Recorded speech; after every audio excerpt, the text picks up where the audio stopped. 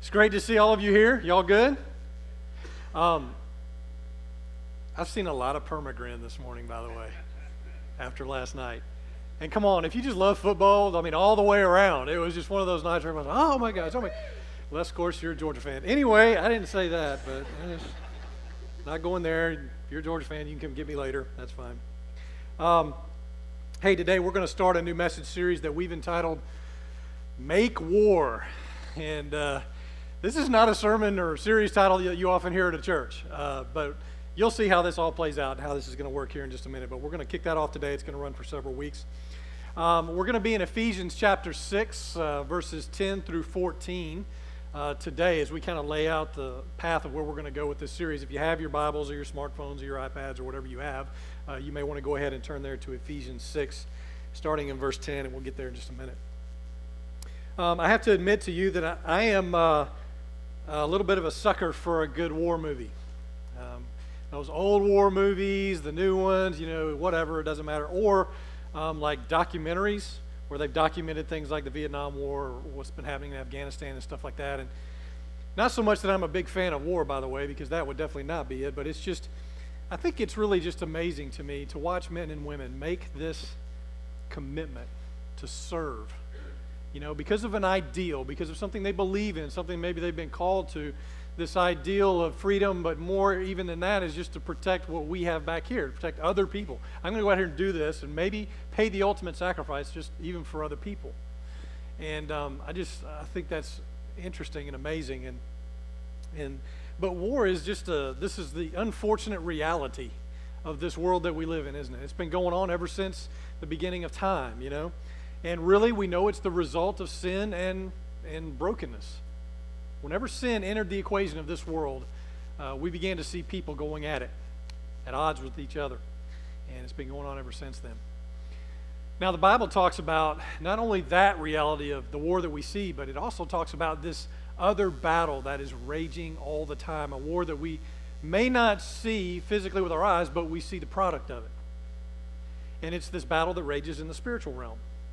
And uh, we might think of it as like good versus evil, or light versus darkness, or the father of truth uh, versus the father of lies, or just literally God versus Satan. But, but it's this battle that's happening kind of behind the scenes. And um, it's very much a part of this world we live in. It's not something we can deny or something we can even disassociate ourselves from. Uh, I'm going to read you a quote. I thought this was good. It said, Spirituality is not something on the fringes or an option for those with a particular bent, none of us has a choice. Everyone has to have a spirituality. Everyone does have one, either a life giving one or a destructive one.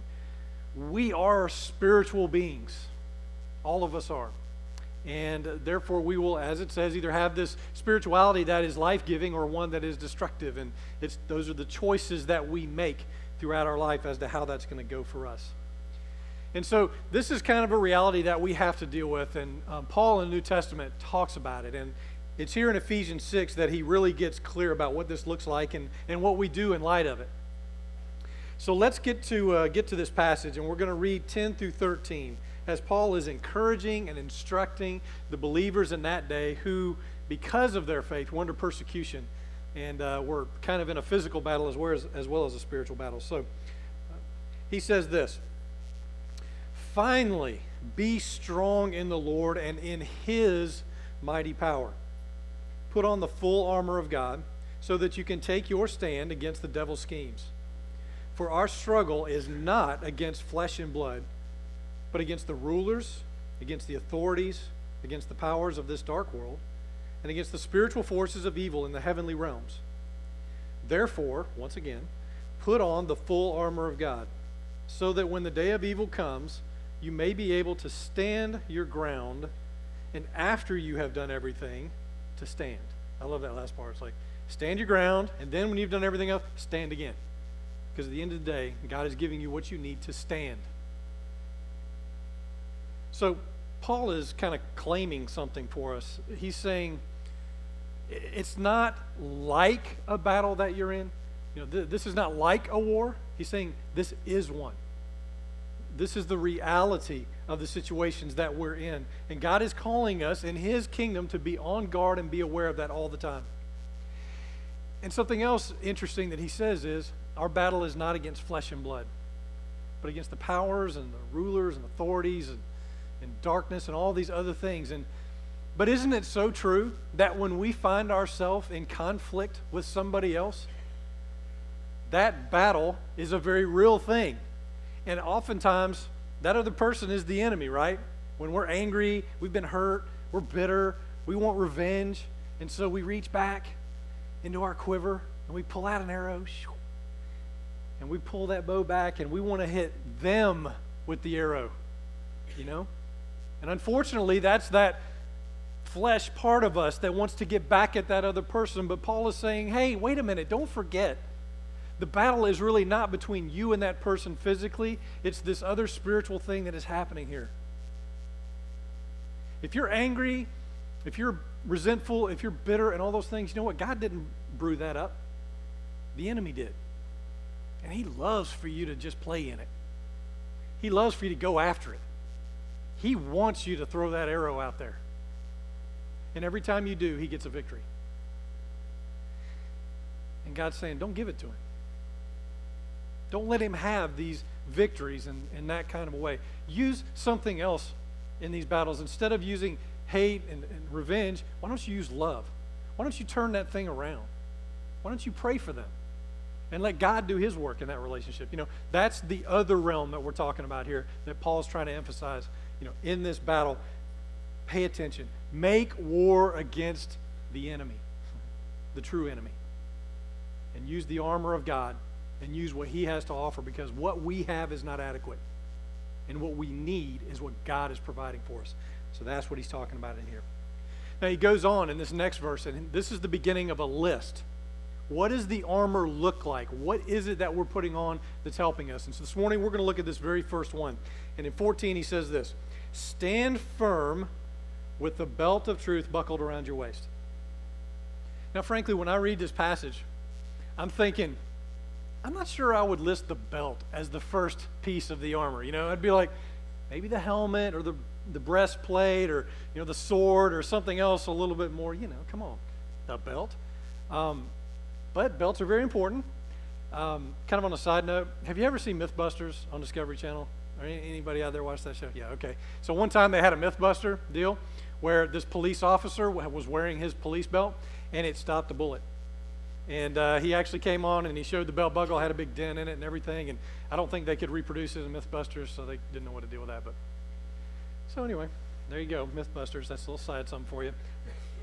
Belts could potentially stop bullets, but probably likely not. But here's the deal: a long time ago in, in the ancient Roman army, belts were extremely important and very vital to the armor that they wore. They were uh, called a cingulum, is what the belt was known as. It was usually a heavy leather belt that was worn around the waist like we would. It looked like, uh, have you ever seen a weightlifter's belt? You know, it's big, wide in the back, and you know it's kind of kind of heavy duty. That's what they would wear, something like that, and it served several purposes. One is that they hung leather strips off of it that added uh, protection, and it kind of hung over the top of their and I don't know what else to call this, a skirt. I'm sure a Roman soldier would love for me to call that a skirt. It's really not. But anyway, and, uh, and so it hung, that belt was important to support that. Also, it held the scabbard for the sword. So if you go into battle without your belt, you're also going into battle without your scabbard and therefore without your sword. A Roman soldier without a sword is only on the defense and mostly running. So uh, that belt was very important and was kind of core to the rest of the armor of what they had that day. Now, also, another purpose was that it, it provided support for their midsection, for the core. And here's why that was important. Um, when a Roman army was on the battlefield, and by the way, during that day, they were the conqueror of the world. They had the latest in military gear and strategy. But a whole unit of soldiers would get together in a big, what looks like a big square, rectangle. And uh, so when they were engaging the enemy, if the enemy was coming toward them, the front row would hold up their shields. And they had this little interesting deal. They had flanges on the inside of each of their shields so they could literally lock them together. So they, they required each other to be able to form this strategy, right? So all these soldiers locking shields, holding on tight. And then the guys behind them in the second row, they started their shields up here like this, and they made like a roof over them in case they were shooting arrows. And, uh, and then, you know, so you kind of had this neat box formation all around them. So the enemy comes and, and mostly just crashes against that first row of soldiers, first wave. And what happened was the guys on the second row, behind the, the front row, they would hold on to the belt of the guy in front of them. And they would push, know, holding their shield, their shield up like this, and they would push against them. Then the guys on the third row, same thing with the second row. They're pushing. Everybody's pushing up so that they can support that first row, the guys with the shields who are out front. So the enemy would just come and crash against this formation and wouldn't be able to do anything with it. And then in the, in the appropriate time, shields go up, they push each other forward, and they go on the attack. And I know that sounds very simplistic the way I've described it. I'm sure it's much more complicated than that. But this formation was one of the basic core formations of the Roman army that allowed them to be such a force in that day. But the belt was important in two ways in that formation. One is it, it kept them from getting a hernia. Okay, they, you know, it's just one of those things where you tighten up your belt, you don't get a hernia when you're when you're pushing and straining, and it just kind of kept everything in play. And then also it provided this handhold so that they could push each other forward. So Anyway, you get the idea. The cingulum, the belt that was very important for them, helped them stand their ground. And that's a military phrase, and that's where we get it from. Stand your ground. And Paul adopts that phrase and uses it here to talk about spiritually. When he says, he talks about stand your ground, then at the end you'll be able to stand. Now, in the spiritual realm, the belt of truth has sort of a similar effect. It is the core of this armor that God has given us. It, it represents this important piece of this armor that we have. Truth is at the core of our belief system. And in the Greek, the word truth is aletheia. And it means, it kind of has several variations of meaning, but basically it means disclosed or unconcealed. To, to open something up so that you can see what's on the inside. And here's my very simple and mostly rusty illustration of that. It's a candy bar. All right, now just track with me. Don't lose me here. So you got your Snickers. What do you want? Kit Kat? Baby Ruth? You good? The Snickers. Let's go back to Snickers. I like Snickers, all right? So we're going to stick with that one. So you got your basic Snickers. On the outside of the wrapper, it says Snickers candy bar. And I think, if I'm not mistaken, it actually lists, you know, peanuts and caramel and nougat and chocolate and all that really good stuff on, on the inside. So it says that on the outside, but you know what? You don't know for sure that's what's on the inside, do you? Because it's wrapped up. You're just going to take that wrapper for its word. You're going to trust that inside there is this amazing, wonderful Snickers bar. You're going to know, though, for sure when you unconceal it, when you open it up, when you take the wrapper off, and then you bite into it and you go, yep, it's the candy bar they said it was on the outside. It's got chocolate, peanuts, nougat. It's all that good stuff. All right. I'm sorry, felt like seventh grade here, but anyway, uh, that's kind of where I live. So, but in the same way, the word truth is just like that. It's it's un- unwrapping, you know, and what's on the inside is this truth that we're looking for, and this is kind of how it's used uh, in this sense. But think about it too, like this: it's not just truth that's spoken; it's also truth as an idea, a moral truth, or a divine truth that God has revealed to humanity uh, particularly through Jesus Christ. So when you hear that word truth, you might think of it that way too, because in the New Testament, more often than not, it means that a divine truth that has been revealed to each one of us, a reality that God needs us to know. So that's kind of where he's going with that. Now, more specifically, though, why is it that belt? What does it do? And why is it the most important? Number one, because truth is whatever God says. Very simply, truth is whatever comes out of the mouth of God. Every word that comes from his mouth is truth.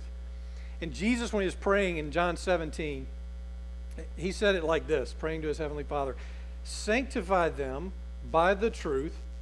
Your word is truth. Your word, God, is the truth that we need. And you know, would you agree that we need truth in this world? That this is a difficult place to live if we don't know the truths of life and death and all those things, but it's all in here. And I think we go looking for it in so many other places, in so many other ways. And God's like, I've already given it to you. In this 66 books, there's over 700 promises.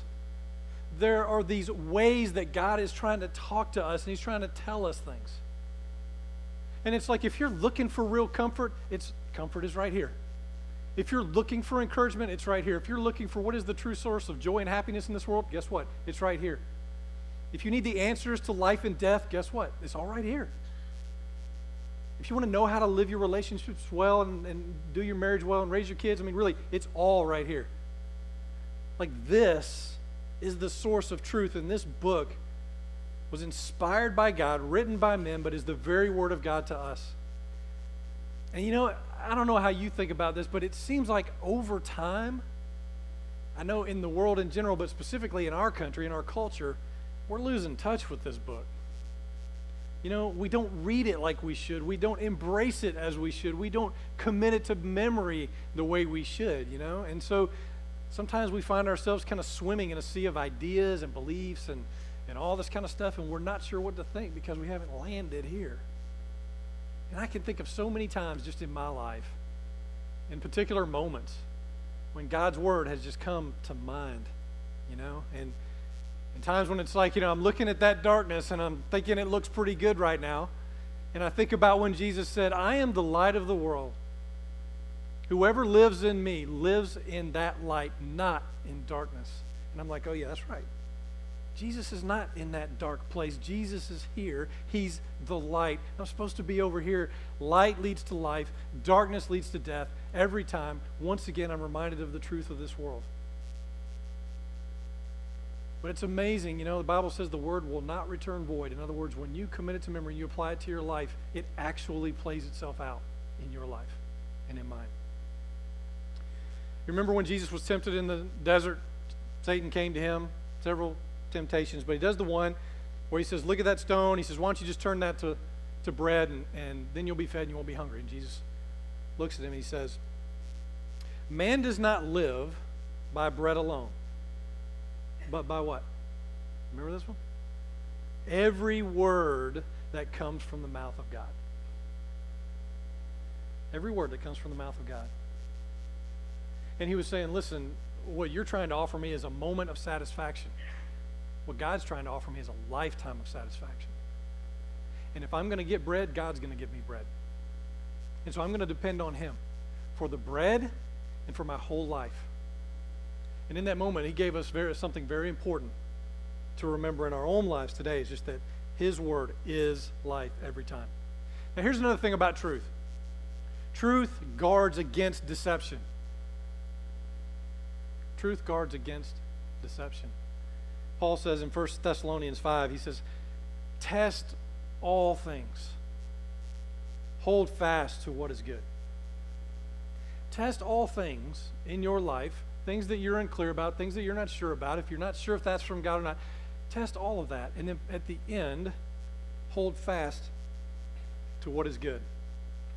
And in a way, what he's trying to tell us is be on alert, be on guard.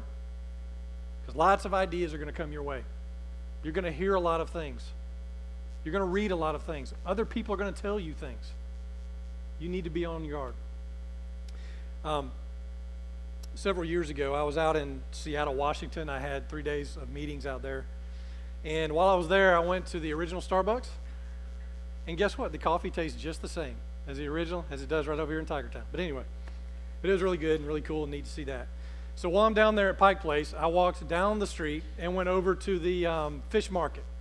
You know what I'm talking about? They have this famous fish market there in Seattle down by the water and everything. And, and so I go there and um, I'm talking to one of the guys that's that's working the deal, and he's putting ice out and stuff, and and uh, and I'm like, is this the place that I've seen on TV where y'all throw the fish? You know, you know what I'm talking about, where they yell and they throw the fish when somebody buys a fish, and I'm just sure I sounded like a redneck from Alabama. Hey man, this where y'all throw the fish? Because I'd love to see me throw throw you throw fish. So I did. I asked him, and he's like, yeah, yeah. He said we do that, but only when you buy a fish. And I was like, buy a fish? I mean, these are massive. And I'm like, ah, I said, I'm here on, you know, just for a few days. I'm from Alabama. I'm not going to be buying any fish. He goes, we can ship it. And I was like, hey, man, I really don't want to fish, but I really appreciate it. But I still would love to see you throw a fish. And he's like, all right, man, let's, let's give this poor guy a fish throw so he can go back to Alabama and tell his buddies, so he can tell his church. So sure enough, he grabs a big fish and they start tossing him back and forth and yelling and screaming the way they do. And, and he, he was like, one day, he handed it to me, like, you want to throw the fish? I'm like, I'm good. I got to go to a meeting. So smelling like that is not going to be helpful. And, um, but anyway, so after a while, uh, the general manager comes out and, and, he's asking me where I'm from, and we're just having a big conversation. And he launches into this uh, history of how they got Atlantic cod to the West, which of course I was just, wow. it was like, we don't do cod. But anyway, go ahead, give me the whole thing. But it was very interesting. He said in the 19th century, um, they decided they wanted to ship this Atlantic cod from Boston all the way around to places like San Francisco and Seattle and all that. Um, but they ran into all these issues with keeping the fish fresh, you know, because that is a seriously long trip, you know, from one coast to the other in that day. So they put, put it in ice. Ice didn't work. Fish go bad. They'd, uh, they'd put the fish in tanks of water. Um, the problem is the fish don't move very much, so by the time they get over there, they're really not very good to eat, and they're, they've kind of gone bad and all this kind of stuff. So at the next cod fishermen's gathering meeting. I'm not sure what that was, but anyway, all the guys got together and they presented this problem of we're, we're, wasting a lot of fish and losing a lot of money trying to get them over there. We need to come up with an idea. And one joker raised his hand and goes, Let's stick some catfish in there with them. And they were like, Who are you? And who invited you? You know, I mean, what are you talking about? He said, No, I'm serious. Catfish are the natural enemy of cod. And if you put them in the tank, it'll cause the cod to keep swimming. And they were like, throw some catfish in. So they put some catfish in, and sure enough, the cod kept swimming. And they kept them swimming the whole time, all the way over there. And so the fish were in great shape, and they were able to sell it, and everything was, was wonderful. So when you put the enemy of a cod in the tank with it, it keeps the cod moving, on alert all the time. You know where I'm going. We're in this tank, and there is this enemy. He is around us and near us and with us all the time. And because of that, we should be alert, eyes open, asking God to give us good discernment between good and bad, right and wrong, what path to take, what choice to make, you know, all those kinds of things. The Bible describes Satan as uh, the father of lies. That's pretty adequate description, wouldn't you agree with me? Have you ever been lied to by him? You know? Um, his, his whole purpose in life is to trip you up, trip me up. Take something that's good or, or excuse me, something that's bad, something that's wrong, reshape it, put it into your life, interject it. It's a lie, but he wants us to believe that. Jesus, talking about Satan, says this about him in John 8 44. He says, he was a murderer from the beginning, not holding to the truth, for there is no truth in him. When he lies, he speaks his native language, for he is a liar and the father of lies. And so I'm thinking, what are the lies that, that he might speak to us? What are some things that he might say? He might say something like, you know what, you're not a very good follower of God. You know, you're not a very good son or daughter You just mess up a lot. Have you ever believed that one? Maybe? That's one that, if we're not careful, can take us down a really bad road where we begin to think, yeah, I'm not doing a very good job. And then we're left with guilt. And then we're wondering about, will I ever be good enough for God? Does He really love me? Oh, He loves to put that in your life. Or maybe God only loves you when you perform well. That's one He'd love to tell you. Hey, it's only when you're really good that He loves you. Other than that, he really doesn't love you. He don't want anything to do with you. That's another lie. God loves us no matter what. He might say something like, hey, let's not forget your career, your education, your, your bank statement, you know, your, your bank account, your reputation. All of these are first, and then God is next on those list of priorities. He, he's down here. He's okay. He'll be in your life. But you need to get all these other things squared away first. and that's an easy one to fall into, isn't it? Sometimes we might actually even believe it or even live our life that way. But we know that when we seek God and His righteousness first, everything else falls into place. Or he might say something like, Power is everything. Whatever you can do to, to have more power, to have more control, that is everything. See, he's the master of lies, he's the master of doubt. He just wants to introduce a little doubt into your life to get you off course. And he will try to destroy your relationships. And we have to be careful because if we give him just a little bit, he's got this, for lack of a better word, crowbar that he loves to just stick in there in between us and our relationships and pry really hard and see if he can get us wedged apart. And that's when he does some of his best work. But here's the last thing in light of that truth is found in Jesus. Very simply, but most importantly, truth is found ultimately in Jesus. God sent him to this earth, and he became the living representative of the heart of God. If you want to know what God's heart is, read the Gospels, see what Jesus did, see what he said. If you want to know how much God loves you, look at what Jesus did on the cross. If you want to know what God's all about, you just got to look at Jesus' life. And Jesus said this in John 14, 6. He said, I am the way, the truth, and the life. And no one comes to the Father except through me. No one has a relationship with God except through me. Nobody goes to heaven except through me. I am the right way. I am the ultimate truth of God's love for you.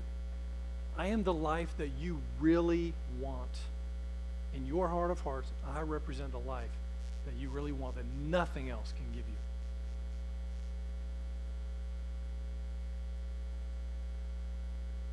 Now, the challenge with this, and I totally get it, is to get the belt on every day. You know? Soldier is ultimately disciplined and prepared. And I think for us, it's am I putting this belt on? And you know how we do that? We got to read. We need to know this and what God is telling us.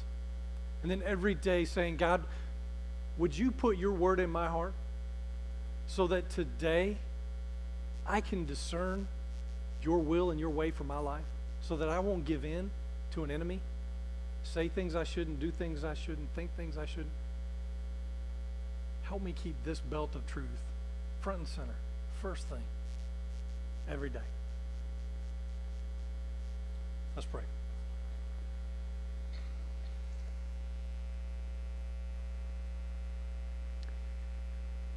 Well, God, every one of us in here is very aware that in this life there will be trouble and struggle,